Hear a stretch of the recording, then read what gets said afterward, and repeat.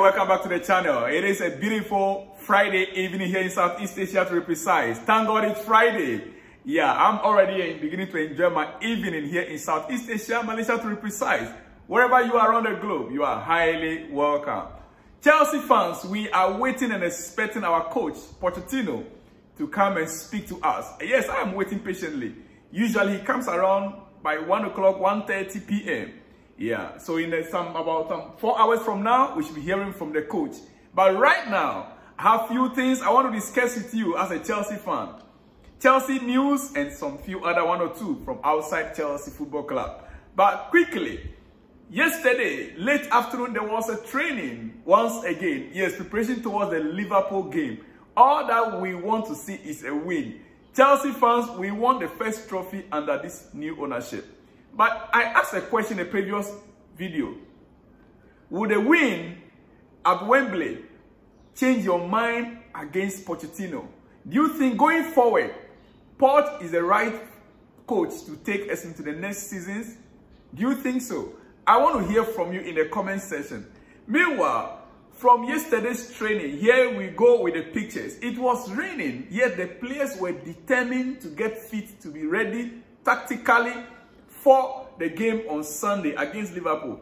And therefore, even in the rain, they train. As you can see, yes, five from the training. Rain doesn't halt Wembley workout. the rain could not stop them from training. Yeah, the rain could not stop them from training. There you see the right in your front, the first picture there is who? Conor Gallagher. The rain could not stop him. And you can see even the goalkeeper, Petrovic, yeah, I think he's the one that enjoyed the most in that rain. He is the one that enjoyed the most in that rain. hey, Petrovic seriously working out in the rain. You could see the way his body is so wet. It's so wet. Pochettino will speak to the media later today, like I said. Yeah, and as we wait, Nicolas Jackson hasn't haven't come back from AFCON. Haven't come back from AFCON, started the month very, very well. While Madueke and Palmer have played important roles in the Blues reaching the final. Nicola Jackson coming back played his part from AFCON. Then Cole Palmer and Madueke, they all played their part. And you can see them right there in the training. All right.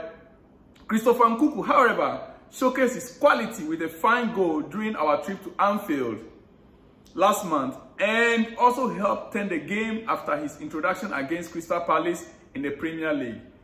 Then there is Raheem Sterling, yes, who was sporting a new look as he prepared for the final. He prepared for the final. The winger netted last time out against Manchester City and has often performed well at Wembley, which is where he grew up. Now, when it comes to Raheem Sterling, this will be his sixth finals at the Wembley Stadium. Yes, this will be Raheem Sterling's sixth game at Wembley. And so he is excited. This is what he said. He said it will be a massive achievement to do that. Ryan Sterling on possibly, possibly winning his sixth EFL Cup. He said it will be a massive achievement to do that. When, you, when you've had that taste for it, you always want more. And this game will be the exact same thing. We've got a great test this week against Liverpool. It's a good challenge against one of the most dominant teams in the last few years. That is Raheem Sterling. For him, it is a great challenge. It is something that motivates him, knowing that he's going to win another trophy at Wembley, another EFL Cup, the sixth one at the EFL Cup, the sixth EFL Cup at Wembley. For him, the more you win, the more you want to win. Yeah, and as you can see him, he is fully prepared for the game. He is fully prepared for the game. All right.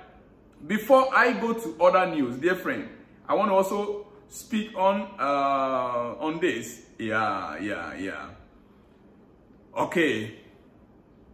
Chelsea, we are in the market for summer. We want a striker, but I want to tease your brain with this also. No player from Europe's top seven divisions has been directly involved in more goals no player in Europe top divisions have been directly involved in more goals in 2023-2024 than Victor Gyökeres. Yeah. So far, no player in Europe's top leagues have been directly involved in more goals than Victor Gyökeres. He played 33 games so far this season, scoring 29 goals and gave 10 assists. It seems Gyökeres is the man. Chelsea fans? ah, who would you like Chelsea to sign?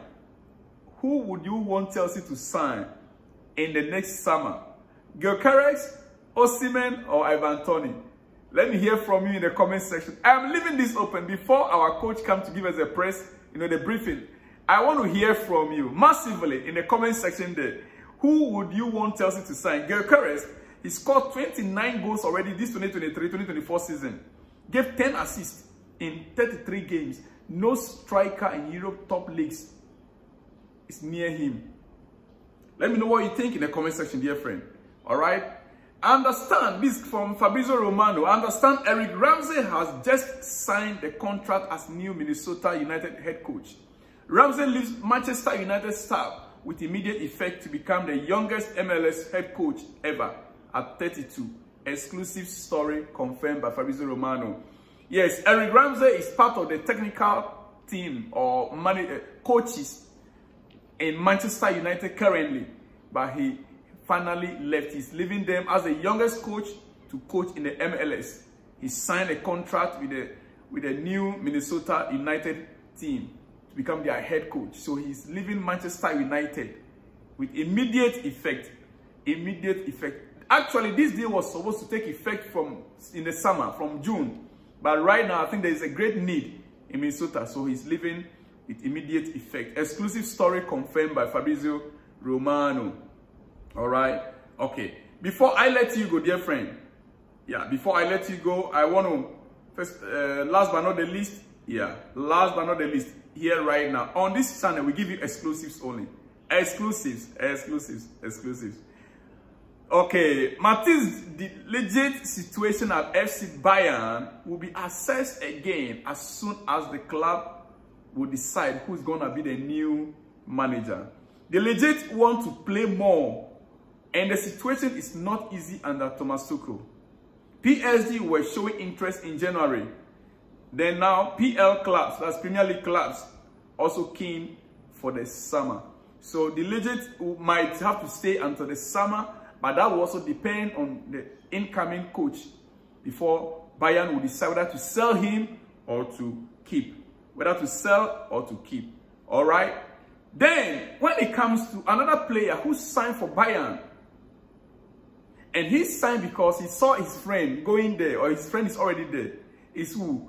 Eric Dier. Eric Dier is unlikely to stay at Bayern Munich beyond the summer, with the German side concerned about his lack of pace. So Eric Dier might be returning back to the Premier League in the summer for the, his lack of pace. You know, he's, he's not a young man. He's not young. Eric Dier should be above 30. If you are 31, 32, yeah, he's not young any longer. So his pace actually should, well, it depends on the system you want to play. And with the coach who signed him going. Likewise, likewise, even Harry Kane himself, if and if Eric Dier will be leaving the summer. There is a greater possibility that even Harry Kane will be returning back to the Premier League. Knowing fully well that the coach who signed him, the coach, Thomas Tuchel, is leaving. Harry Kane, and with the dressing room issues, that Harry Kane is in support of the coach and so, uh, Kimmich and some other players are not in support of the coach. That misunderstanding in the dressing room alone could force a player like Harry Kane even to return back to the Premier League. And many suggested, I heard it, many suggested even yesterday, that Chelsea could go in for him. If Chelsea really want a striker, Harry Kane already a Premier League product with experiences, Chelsea can just go in for Harry Kane.